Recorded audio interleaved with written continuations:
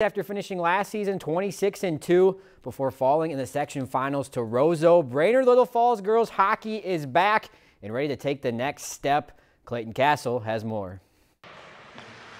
The Brainerd Little Falls Flying Warriors are flying high this season, off to a hot 5-0 start to begin the 2017-18 campaign. Anytime you're starting the season, you want to start well. Um, you know, kind of shows a little bit of that what you've done is, you know, helped you put your team in a good position to win. The team finished 26 and 2 last season before falling in the section finals to Roseau.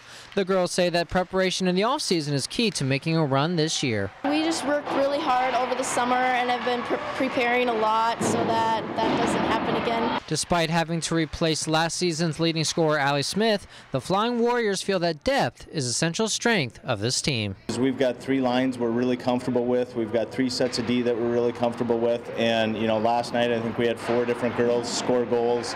You know, we've seen that, you know, through our first five games where we've had, you know, the score sheet with two, three, four different girls contributing, and that's what it's got to be. On the ice, though, the speed of which the team flies up and down the ice is a force to be reckoned with. Definitely have a lot of speed, and that helps us to um, for back checking, we can get back and help our defense out. We're fast and we have a good defensive core, and it's always nice that our forwards always come back. We're a back checking team and we're grinders. We always work down low. The Flying Warriors return a number of players from last season, providing veteran leadership for a team poised to find its way to the state tournament.